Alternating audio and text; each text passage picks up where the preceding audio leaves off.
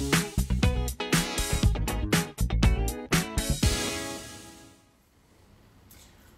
all, welcome back to another video on Thomas Classic and Modern's YouTube channel. Uh, I'm Ross and today we're going to be carrying on with our 1360 short motor build. This video will include now installing the timing cover backplate, setting your camshaft end float, lining up your timing gears as needed and then we'll also move on to some basic cam timing and by that I mean how the cam timing would have been set from the factory. Uh, so I'll just get a few bits and bobs together and we'll crack on. Okay, so next stage now is we need to install our timing plate gasket and our timing plate, sorry, our timing cover backing plate. Um, we've already prepped and painted this bit obviously in the exposed bits. This is now cleaned, ready to go. All the threads chased as well. With this, this is a point of much debate um, amongst people. Gasket sealant. Do you use it? Don't you use it? How much do you use? Etc. Etc. My point of view, I've always used it. This is the gasket sealant we use, Victor Reinz Reinzosil. Been using this for a number of years now. Very, very good product. Really like this. But any proprietary RTV not B&Q bathroom silicone. We see it on umpteen engine builds. It gets everywhere. So when it comes to using this, some people like to put a bead all the way around both sides, etc, etc. I don't. What I do is literally a quick bead here and there all around the gasket. Not loads, and then I spread it out and work it over the gasket so that all of the gasket will end up covered in a thin smear of the black. The danger is, I find, with using beads of silicone, uh, oh, sorry, of uh, gasket sealant, is that bead does get squeezed out. If your mating faces of your engine are all clean, flat, free of burrs, etc., etc., which they should be, then there shouldn't really be any need for a bead as far as I'm concerned. The only place that I put a bead of gasket sealant is between the diff housing and the gearbox casing on 5626 casings because they do not have a gasket. So in that instance, I use a very thin bead, thinner than the one I just put on this, between those mating faces. Other than that, any gasket that I ever fit, aside from a head gasket of course, has this treatment. So that sealant is spread all around that gasket as evenly as possible, leaving none of the gasket in its original colour. So that is just a very slight smear to take up any imperfections that you may have. So that's how that gasket looks. Just coated all over with a smear of our chosen gasket sealant. We then just drop it into place, lining up all holes and that's then stuck in situ. We then take our timing cover backing plate, drop that in place, again lining up the holes. We then take our new camshaft backing plate. These are marked with numbers, which is the part number, and they have a bearing side and a non-bearing side. Again, exactly the same scenario as the piston rings, numbers up, and that is how that fits. This is not a triangle. So if you try and fit it the wrong way, the bolts will not line up. it's a uneven elliptical bolt center and it fits so that the oil drain hole lines up with this oil drain hole.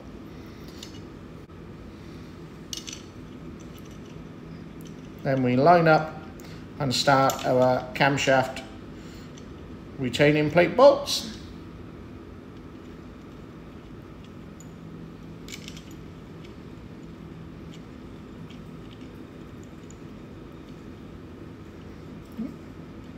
knock that out of place.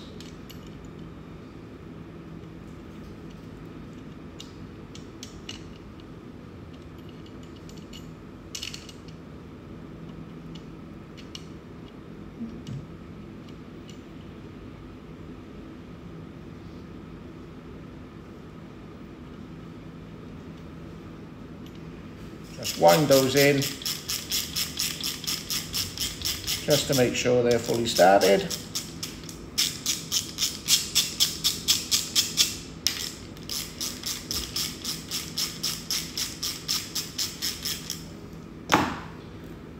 And then add the two lower ones. These have shake-proof washers on them. Unless you are fitting the duplex timing gear, as I said, these are the standard fare shake-proof washers. And they go in the bottom, just like so. Make sure they are started. What I now like to do, as we're working in this area and we have a gasket behind there, I like to now fit the 5 16ths UNF bolts that go in the larger holes on the timing cover to snug that plate down while that gasket material is going off. Okay, so just the 5 16ths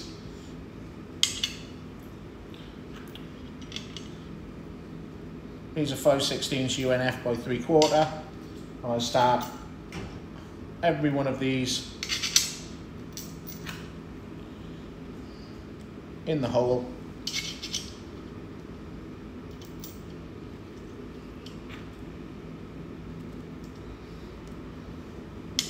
Just to make sure that that timing plate now is lined up exactly where it is actually going.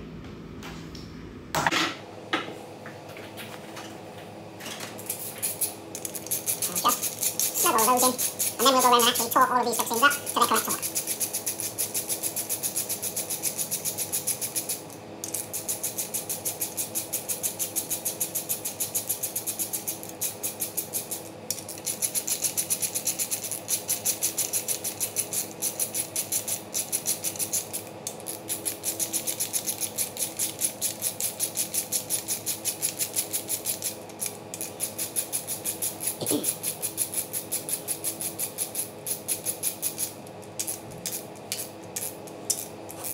Okay, so in the first instance here, all of these 5 16 UNFs, I torque to 16 Newton meters.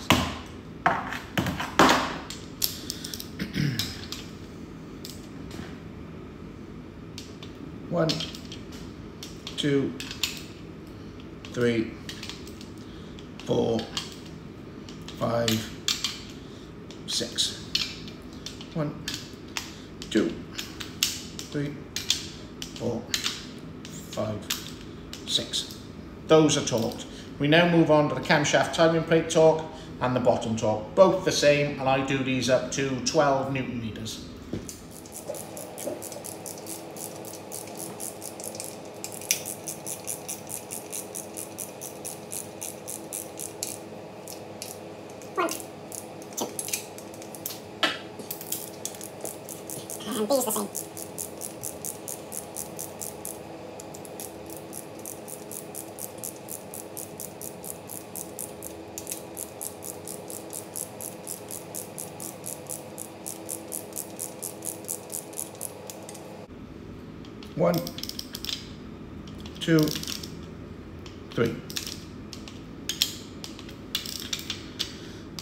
And that is it. That's our front plate fully installed and torqued up, ready for the next stage.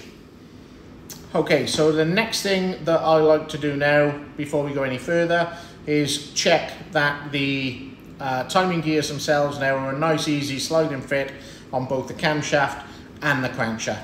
Yes, the Woodruff key isn't in at the moment, Not interested in that at this present time and I'll explain why very shortly. But first of all, timing gear, and it needs to be as simple as that. A nice, easy sliding fit. You don't want it baggy um, and you don't want it, you should never have to hit those on. You need a nice sliding fit. That one is, that's lovely. And the bottom crankshaft pulley, exactly the same. Not baggy, but a nice sliding fit. Last thing you want to be doing is battling with these things. So happy with that, that's great. The next thing that we do is check and set our camshaft end float. That is controlled by the distance between this camshaft plate and this step on the timing gear. So how we do that is drop the gear into place, make sure it's pushed fully home. Then drop in situ our lock tab and the camshaft retaining nut. It has a registration boss, a flat machine surface. That goes to the lock tab. Wind that on, and then what we do is I torque that up to its full tightening torque before we check the end float. Okay, so we now need to torque this nut. The way I do it is I have a, a pry bar, something similar, drop it in one of those holes, take your torque wrench, set it to the required 88 newton meters,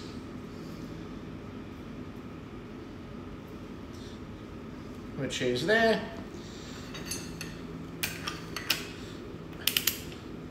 And the pry bar, screwdriver, whatever you're going to put in there, will just jam up like so and allow you to torque that. 88 newton meters, done. That is now torqued and then we move on to measuring the end float. Okay, so how we check camshaft end float. You will need a magnetic stand and a DTI in either millimeters or thou. I use one that's set in thou, it's just quicker. Set your magnetic stand up. this one's actually already set anyway uh, to line up with that. So set your magnetic stand up on the timing plate and then register the end of your DTI on the camshaft itself. You can use camshaft nut if you want to. I'll use the actual end of the camshaft. Then what you do check that you've got some preload on it and set it to zero. Just like that. You then need to put some downward pressure on that cam drive gear to make sure that that cam is all the way in in the opposite direction to your measuring the end float. So bit of downward pressure and just check that you're on zero yeah, which we are, that's absolutely fine. What you're now going to do, exactly the same scenario as when we checked the crankshaft end float. We are now going to lift that camshaft up in its journals and see what that measurement is and see if we're within spec. How we do that, some sort of leverage, pry bar, etc. Uh, I've got a blunted screwdriver that I use for this sort of thing. Slide it in underneath and just lift gently. And that should give you a measurement.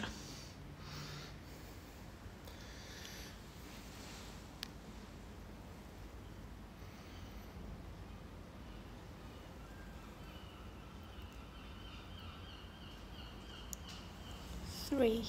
And there we have a camshaft end float of three thou.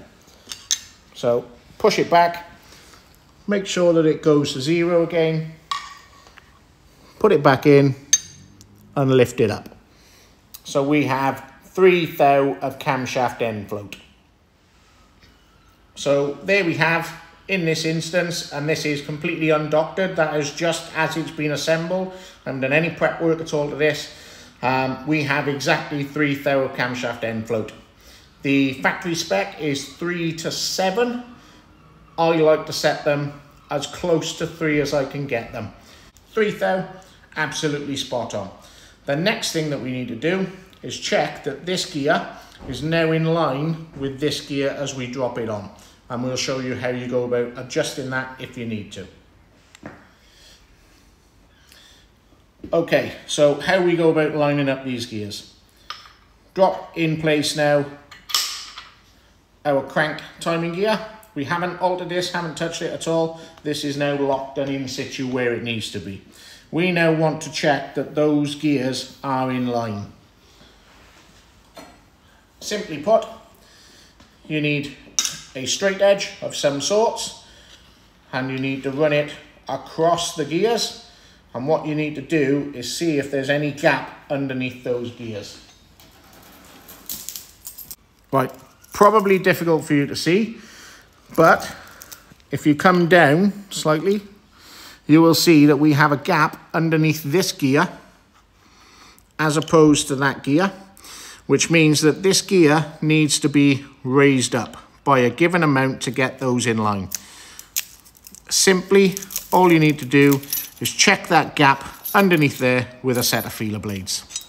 We have quite a gap under there, so I'm going to start straight away. That's a 32 thou feeler blade. And I would say that's not quite enough. Not far away. But we will step that up to 35, I think. Okay. So we now have 35 thou. Keep your straight edge on there. And that's actually quite a nice drag and it doesn't doesn't push anything out of line. So I would say that that gap under there is 35 thou. We now need to add 35 thou of crankshaft shims, which I shall show you in a second, to there to bring that gear back up in line. And then we'll recheck.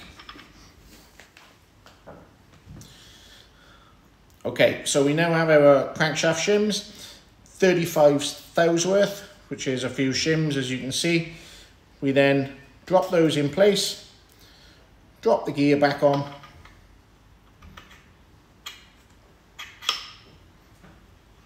make sure it's fully seated home, and then we recheck the alignment. No light showing underneath any of those gears. Those gears are now perfectly in line. More than happy with that. We'll just move on now to fit in the woodruff key in here. Once we've done that, we just need to make sure that this gear remains a sliding fit, as sometimes when you tap the woodruff key back in, it can get a little bit out of shape and you need to make sure that the keyway lines up. That's what we'll do next. So first thing we do is take our new woodruff key, make sure that it fits in your gear, which it does. Nice sliding fit in the gear and fully located. Leaving our newly installed shims in place. You then offer the woodruff key up centrally to the slot.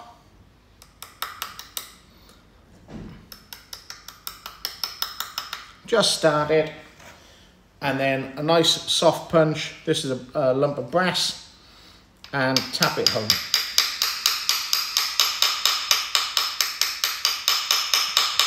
And you will hear that has changed. You sometimes need to work them into the slot because they need to be level in that slot to allow the gear to go back on.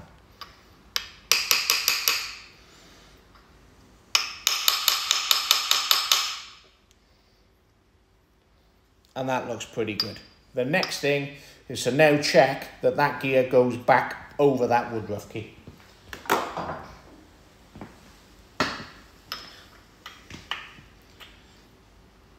Which, as you can see, it's made it tight. So now that needs checking and linishing to make sure that it's in. What you normally find is that it is now sat proud on top of that gear. So therefore that gear now will not slide on there. This is the point where you do not go tapping it on and hitting it. You need that to be a nicer sliding fit as it was before you put the Woodruff key in. We know it fitted before, so we now know that the issue is the Woodruff key. We know the Woodruff key goes in the gear, so we know it's nothing to do with the width. It can only be the height of that Woodruff key in the crankshaft, which we now need to sort. Okay, so we've just run a very um, fine file across the top of there to make sure there are no burrs. We've made sure that it's fully seated. And now we have back to a lovely sliding fit. That's exactly what we want. There's no side to side slop and it's a nice sliding fit. The next thing we do is fit the chain, fit the tensioner, and then we'll move on to the actual cam timing. Okay, so we've now just removed the uh, two bolts out of the tensioner hole, out of the way, and we've taken our timing gear back off the crankshaft. I've slackened off the nut on the top of the, the camshaft pulley, and we've taken that off as well.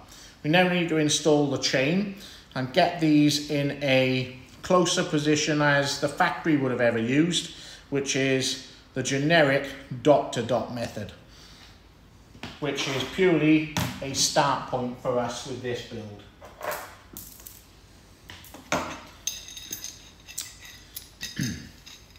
and how I like to do that is lay the chain over the two gears. This is the excellent quality Iwis single row chain. Again, we use these on 99% of our builds.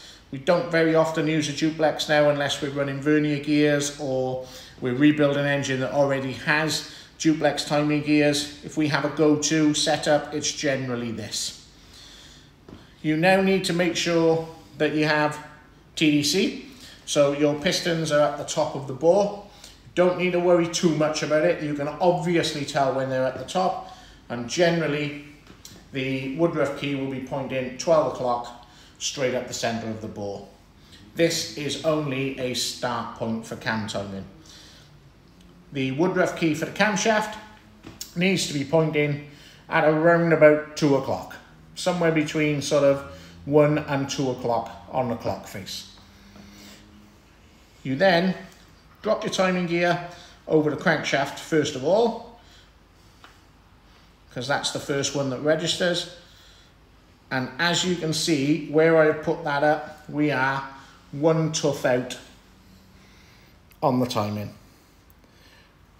Easiest way to rectify that whilst we're in this situation, peel back the chain, come around and follow that gap all the way around so that the timing gear slips around one tooth. And that is roughly where we want to be. Then just push the two down. You might need to rotate the camshaft somewhat. That is it. That is our start point. That is that is exactly how the factory would have set your camshaft timing.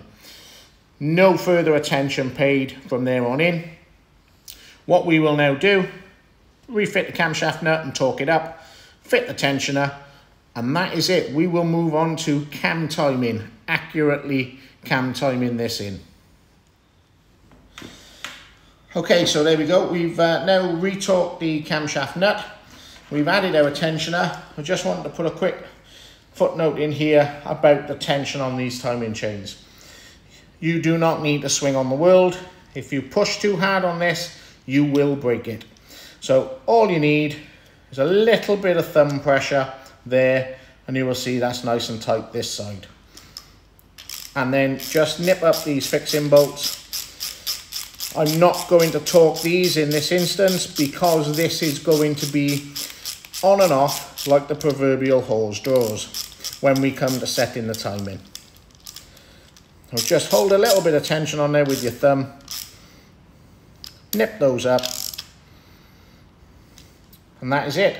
That's that camshaft drive assembly fully in situ. End float set. Dot to dot method used for the camshaft timing. And watch out now for the next video where we will move on from this stage and into setting the camshaft timing using offset Woodruff keys. In this instance, we have no other adjustability and we will run through that for you and hopefully you'll find that informative. Hopefully this video has been of some use and given you a little bit of an insight as to what goes in. Again, in this video, clearance is a key. Um, they are the one that you've got to get right and they are the one that some people overlook. So hope you enjoyed that. Please give us a like and subscribe. Check out the other videos. We look forward to seeing you on the next one.